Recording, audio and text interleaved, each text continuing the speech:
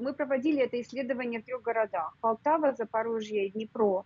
И в том числе мы включали беженцев, которые находятся в этих городах в специальных местах или, или находятся среди жителей городов. И наша задача была посмотреть, насколько для этих граждан, насколько они взвешивают между собой дилеммы войны и мира. А, потому что, к сожалению, во многих исследованиях, которые сейчас показывают в проведенные в Украине, задавались очень прямые вопросы. Вы поддерживаете победу, да. Вы верите в победу, да. Мы должны защищать жизни, да. То есть, когда людям задают прямой вопрос, они все говорят, естественно, да. В этом случае мы получили очень разнообразные ответы, очень необычные ответы, которые не не отражались в других исследованиях. Опять же, потому что вопросы задавались прямые патриотические вопросы.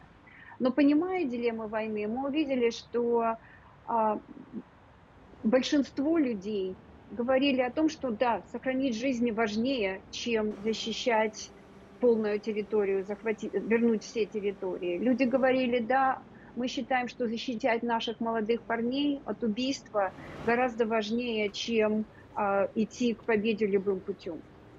И большинство, вот что мы заметили, мы даже специально а, сделали статистический анализ этого, люди, которые более были а, связаны с войной, которые были наиболее получили или ранения, или люди, которые были переселены из-за войны, они более поддерживают идеи защиты жизни, больше подчеркивают идею защиты молодых парней, чем те, которые не были связаны с военными действиями или испытали эти военные действия на себе.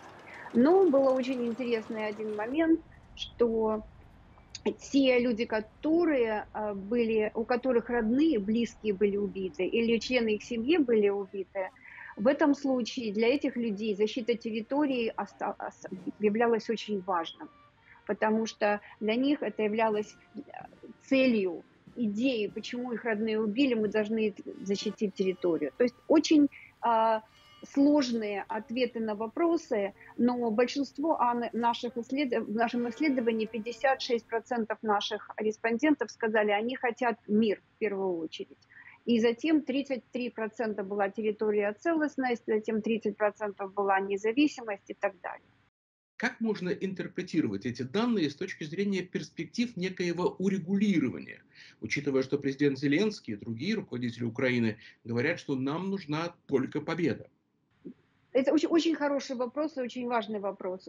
Два ответа взаимосвязанных на этот вопрос. Первый ответ связанный с тем, как мы понимаем мир и мирные переговоры. К сожалению, мир воспринимается как поражение или как сдача каких-то территорий.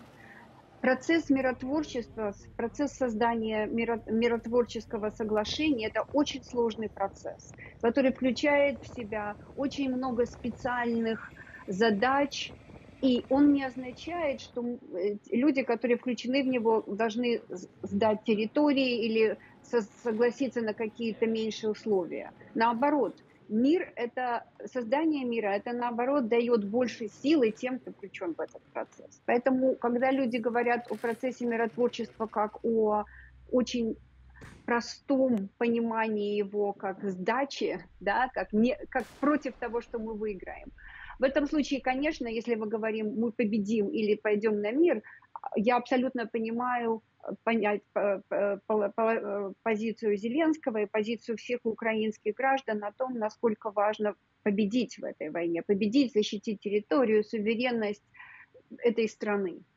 Но мир может привести точно такие же условия. И даже президент Байден, который говорит постоянно о победе, он, тем не менее, я четко заявил, что то ни один конфликт не был разрешен без мирного соглашения. У наша задача смотреть на те, предупредить заранее, какие идеи для мирного соглашения, что важно, что заключает здесь возможность для мирного соглашения на будущее, подготовить. Вот Институт мира тоже сделал очень интересную маленькую статью о том, что мы должны готовить Украину к мирному соглашению.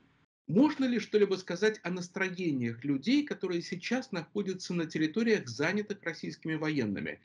Оставим сейчас в стороне военную составляющую.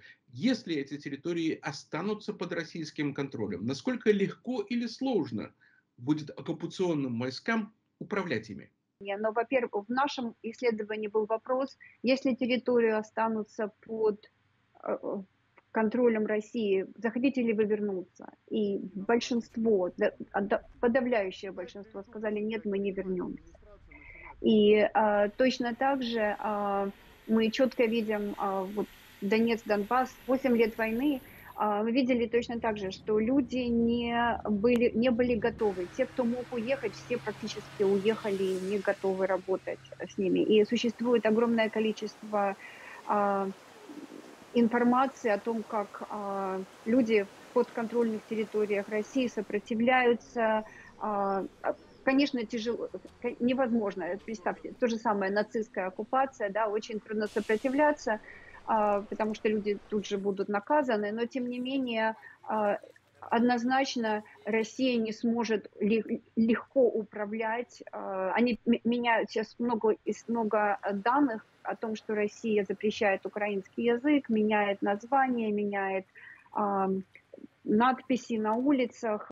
Несмотря на эти экономические давление, которое существует там. Я, я практически уверена, что население Украины не позволит России спокойно управлять этим, а, этими э, территориями. Они постоянно будут иметь очень большие проблемы с этим. Я не думаю, что Россия это Россия полностью понимает, насколько сложно будет это.